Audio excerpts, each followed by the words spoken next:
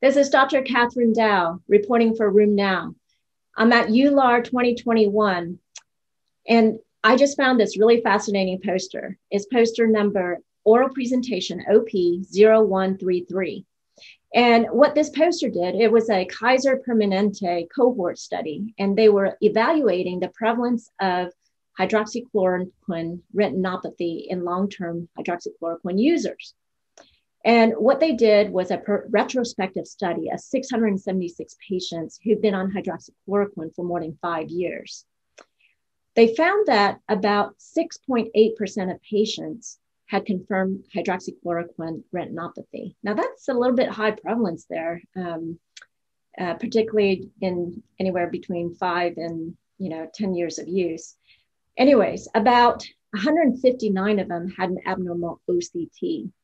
So the risk that they found associated with retinopathy is older age. And in fact, an age of greater than 80 years old conferred an odds ratio of retinopathy of 3.83, confidence interval 1.31 to 11.21.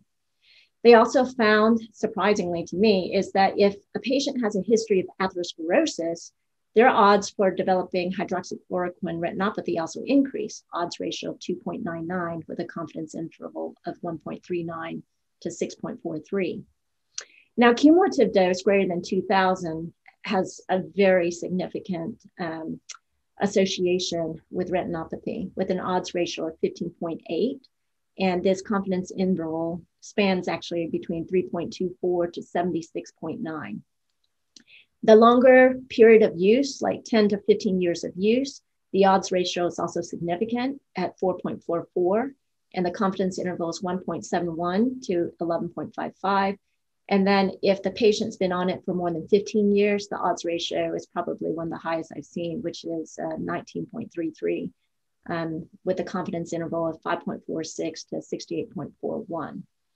So this begs the question, the study begs the question, what if you've had a patient with lupus who've been on hydroxychloroquine for 15 or 20 years and it's been controlling their disease, they're stable, what would you do? Would you stop the dose, the medication? Would you lower the dose? Would you um, perhaps even just switch them to a, a drug of different mechanism of action?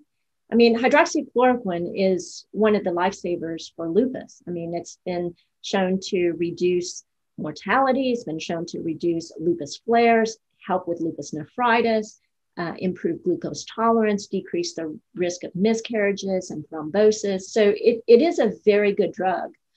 Um, in my opinion, I mean, I know that Dr. Michelle Petri checks whole blood hydroxychloroquine, but in my opinion, I might, as the patients get older, lower the dose. So this is Dr. Kathryn Dao reporting. Follow me on Twitter at KDao2011.